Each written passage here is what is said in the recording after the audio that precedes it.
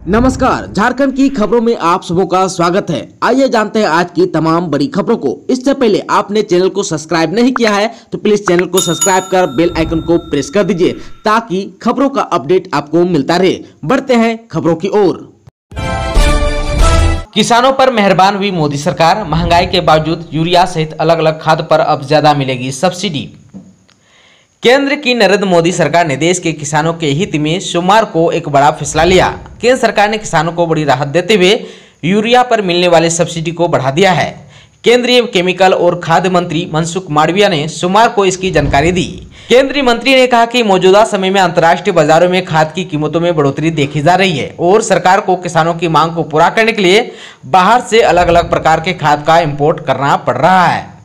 केंद्रीय मंत्री मनसुख मांडविया ने कहा कि अंतर्राष्ट्रीय बाजारों में खाद की बढ़ती कीमतों के बावजूद प्रधानमंत्री नरेंद्र मोदी ने फैसला किया है कि सरकार खाद की कीमतों को बढ़ाने के बजाय उन पर मिलने वाली सब्सिडी को बढ़ाएगी ताकि किसानों की लागत में होने वाली बढ़ोतरी को रोका जा सके और उनके मुनाफे में बढ़ोतरी की जा सके।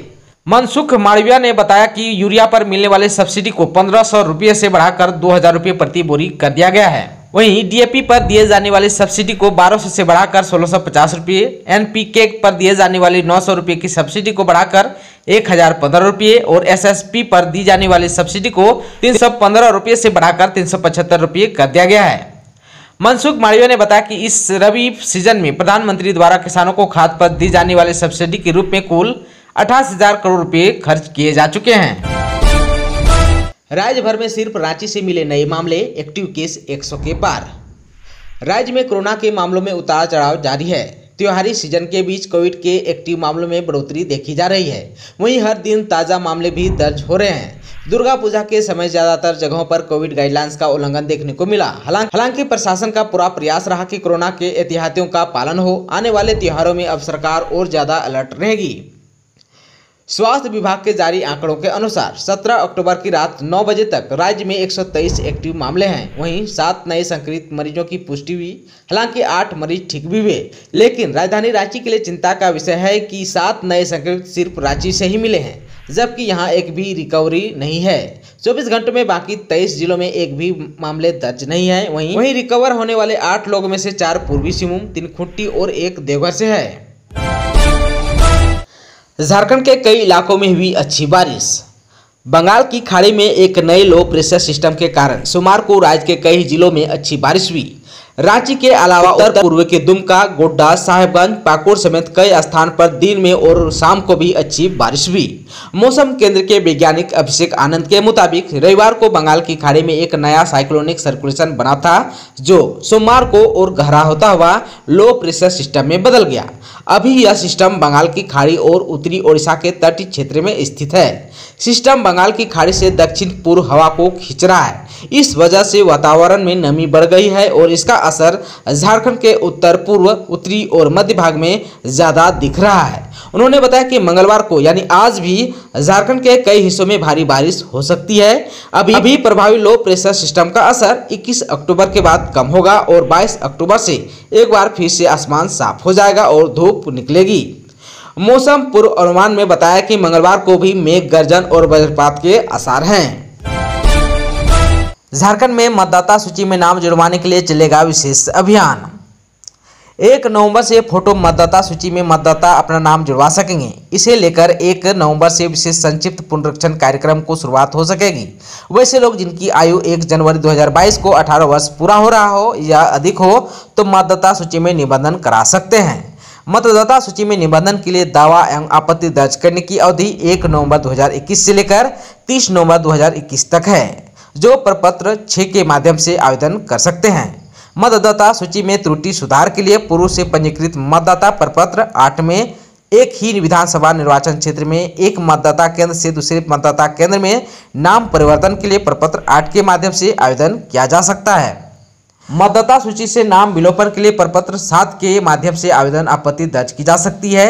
सभी प्रकार का दावा आपत्ति प्रपत्र जिला निर्वाचन कार्यालय निर्वाचक निबंधन पदाधिकारी कार्यालय, सहायक निर्वाचक निबंधन पदाधिकारी कार्यालय एवं बीएलओ से प्राप्त किया जा सकता है, जो निःशुल्क है। प्रपत्र मुख्य निर्वाचन पदाधिकारी झारखंड की वेबसाइट पर भी उपलब्ध है। सभी प्रकार के आवेदन www.ncvp.in एवं वोटर हेल्पलाइन ऐप के माध्यम से ऑनलाइन किया जा सकता है। कॉमन सर्विस सेंटर के माध्यम से भी ऑनलाइन आवेदन दे सकते हैं। पुलिस का निर्वाचन संबंधी किसी प्रकार की सहायता के लिए टोल फ्री नंबर एक नौ पाँच ज़ीरो पर संपर्क किया जा सकता है। झारखंड के विश्वविद्यालयों में जनजातीय भाषाओं के 550 शिक्षकों की होगी नियुक्ति।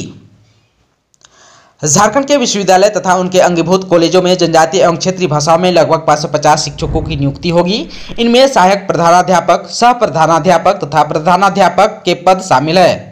उच्च एवं तकनीकी शिक्षा विभाग द्वारा विश्वविद्यालय में इन पदों के सृजन की प्रक्रिया पूरी की जा रही है। पदों के सृजन तथा आरक्षण रोस्टर तय होने के बाद झारखंड लोक सेवा आयोग के माध्यम से नियुक्ति प्रक्रिया पूरी की जाएगी। विभिन्न विश्वविद्यालयों की बात करें तो रांची विश्वविद्यालय में कुल नौ जनजाति एवं क्षेत्रीय भाषाओं में पहले से कुल 45 पद सृजित हैं। इनमें नियुक्ति हेतु आरक्षण रोस्टर की कार्रवाई पूरी की जा रही है। कोल्हान विश्वविद्यालय चाईबासा के अंतर्गत अंगीभूत महाविद्यालय एवं स्नातकों उत्तर विभाग में संथाली हो कुरमाली एवं मुंडारी अर्थात कुल पाँच भाषाओं में एक सौ उनसठ शिक्षकों के पद, सृजन के प्रस्ताव पर मुख्यमंत्री हेमंत सोरेन ने स्वीकृति प्रदान कर दी है। इसके बाद पद सृजन का प्रस्ताव प्रशासकीय पदवर्ग समिति को भेजा गया है। इसी तरह हजारीबाग स्थित विनोबा भावे विश्वविद्यालय में भी सात जनजाति एवं क्षेत्रीय भाषा के संचालन हेतु कुल उनचास शिक्षकों के पद सृजन के प्रस्ताव पर मुख्यमंत्री की स्वीकृति मिल गई है। वहीं सीधो कानू मुर्मू विश्वविद्यालय, दुमका में तीन जनजाति एवं क्षेत्रीय भाषाओं कुड़ुक अंगिका तथा मालतो में कुल पैंतीस शिक्षकों के पदों की सृजन की कार्रवाई प्रक्रिया अधीन है। साथ ही अन्य विश्वविद्यालयों, जैसे विनोद बिहारी महतो कोयलांचल विश्वविद्यालय धनबाद नीलांबर पीताम्बर विश्वविद्यालय पलामू तथा डॉक्टर श्यामा प्रसाद मुखर्जी विश्वविद्यालय रांची से भी जनजाति एवं क्षेत्रीय भाषाओं में शिक्षकों के पद सृजन का प्रस्ताव मांगा गया है। ऑक्सीजन की जरूरतों को लेकर आत्मनिर्भर झारखंड 50 सरकारी हॉस्पिटल में पीएस प्लांट लगाने का काम पूरा। कोविड जैसी किसी भी आपात स्थिति में ऑक्सीजन की जरूरतों को लेकर झारखंड अब लगभग आत्मनिर्भर हो गया है। राज्य के 50 सरकारी हॉस्पिटल में पीएस प्लांट लगाने का काम पूरा हो चुका है, जबकि 22 अन्य अस्पतालों में प्लांट लगाने का काम प्रगति पर है। इस महीने के अंत तक इसके पूरा हो जाने की उम्मीद है। इनमें से 38 PM oxygen plant PM care fund के ज़रिए स्थापित किए गए हैं, जबकि बाकी 34 यानी कुल बहत्तर ऑक्सीजन प्लांट राज्य सरकार, कॉरपोरेटर संस्थाओं और सांसदों द्वारा उपलब्ध कराए गए फंड की मदद से तैयार हो रहा है। नेशनल हेल्थ मिशन के निदेशक भुवनेश प्रताप सिंह का कहना है कि कोरोना की दूसरी लहर के दौरान ऑक्सीजन की कमी से जिस तरह की परिस्थितियाँ पैदा हुई थी, वैसे आपात स्थिति अगर भविष्य में कभी आए तो उससे निपटने में झारखंड के अस्पताल सक्षम होंगे। बिहार और झारखंड के बीच चलेगी 200 रूट पर सरकारी बसें। कोरोना का संक्रमण कम होने के बाद ट्रेन में पर्याप्त यात्री मिलने लगे हैं। कमोबेश बसों की स्थिति भी बेहतर भी है। इससे निजी ट्रांसपोर्टर फ़िलहाल अपने घाटे की भरपाई करने में जुटे हैं। राज्य सरकार भी बस सेवा को नई रफ्तार देने की तैयारी में है। कम से कम बिहार सरकार बिहार, झारखंड के 200 रूट पर सरकारी बस चलाने की योजना बना रही है, ताकि निजी ट्रांसपोर्टरों को टक्कर दी जा सके। बताया जाता है कि बिहार राज्य पथ परिवहन निगम बहुत जल्द 200 नई मार्ग पर बस परिचालन को मंजूरी देने जा रहा है, जो बिहार और झारखंड के बीच चलेगी। फ़िलहाल इन रूटों पर सरकारी बसों का परिचालन नहीं हो रहा है। बसों की कमी को देखते हुए 200 रूटों पर बस परिचालन को हरी झंडी मिलने वाली है। इस संबंध में बहुत जल्द बिहार राज्य परिवहन प्राधिकार सह परिवहन आयुक्त की बैठक होने वाली है। बहुत संभावना है की इस बैठक में प्रस्ताव को स्वीकृति मिल जाए। यदि ऐसा हुआ तो बिहार और झारखंड के बीच ऐसे कई रूटों पर सरकारी बसों का परिचालन शुरू हो जाएगा, जहाँ अभी सरकारी बसें नहीं चलती है। हिमाचल प्रदेश में झारखंड के श्रमिकों से मारपीट के बाद वापस घर लौटे इकसठ मजदूर, चार जत्थों में हुई वापसी। हिमाचल प्रदेश के किन्नौर जिला से झारखंड के श्रमिकों के साथ मारपीट की घटना के बाद मजदूरों का झारखंड घर वापसी लौटने का सिलसिला जारी है। अब तक चार जत्थों में कुल इकसठ श्रमिकों की वापसी हो चुकी है। सभी श्रमिक खूंटी, तोरपा, बंदगांव आदि क्षेत्र के निवासी हैं। ये श्रमिक हिमाचल प्रदेश स्थित Rathi hydro electric power project private limited में काम करने गए थे। बता दें कि बीते दिनों हिमाचल प्रदेश में झारखंड के श्रमिकों के साथ मारपीट की घटना हुई थी। उस घटना के बाद श्रमिकों ने वापस लौटने की गुहार लगाई थी। वहाँ लगभग डेढ़ सौ श्रमिक काम कर रहे थे। मामले की जानकारी जब मुख्यमंत्री हेमंत सोरेन को मिली तो उन्होंने मजदूरों की सकुशल वापस लाने के निर्देश दिया था।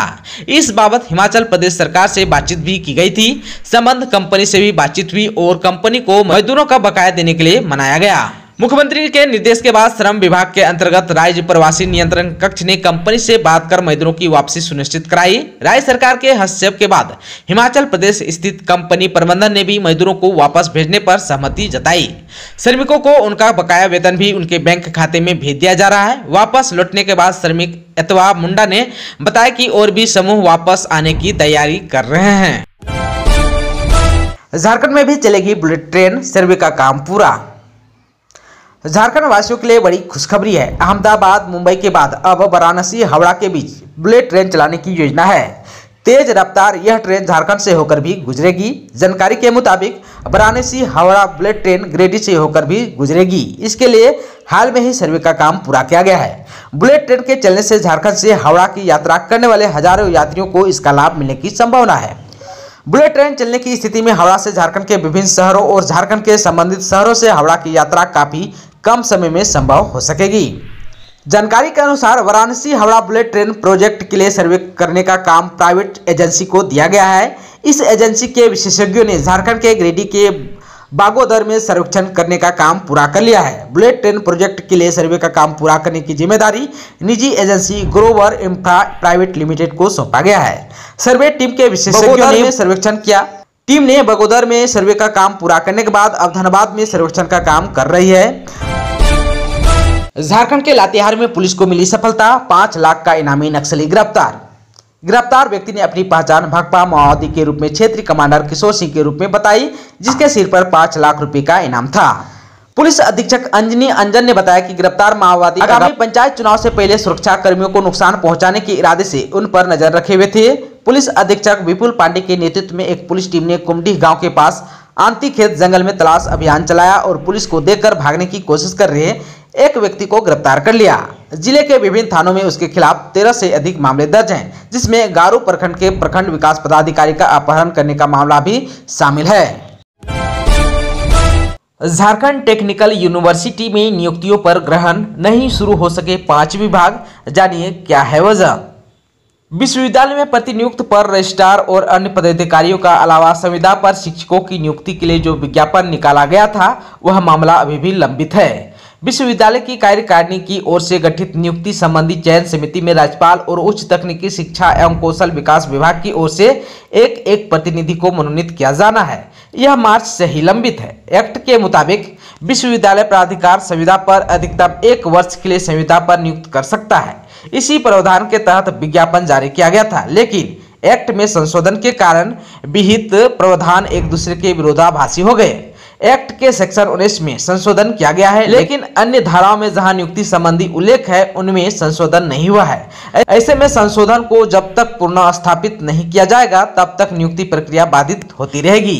विश्वविद्यालय में शिक्षकों और शिक्षकोत्तर कर्मियों को मिलाकर बिरानवे पद स्वीकृत है। इनमें पिछले चार वर्षों में कुलपति को छोड़ अन्य किसी पद पर नियमित नियुक्ति नहीं हुई है। उच्च तकनीकी शिक्षा एवं कौशल विकास विभाग की ओर से जे को अब तक आरक्षण रोस्टर भी उपलब्ध नहीं कराया गया है। नियुक्ति नहीं होने के कारण यूजीसी से मान्यता संबंधी निरीक्षण कार्य भी नहीं हो पा रहा है, जिसके कारण भविष्य में जेयूटी की मान्यता पर भी संकट है।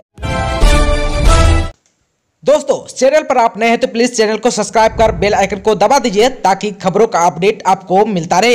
इसके साथ ही आज की खबरों में बस इतना ही। हमें दीजिए इजाज़त। नमस्कार।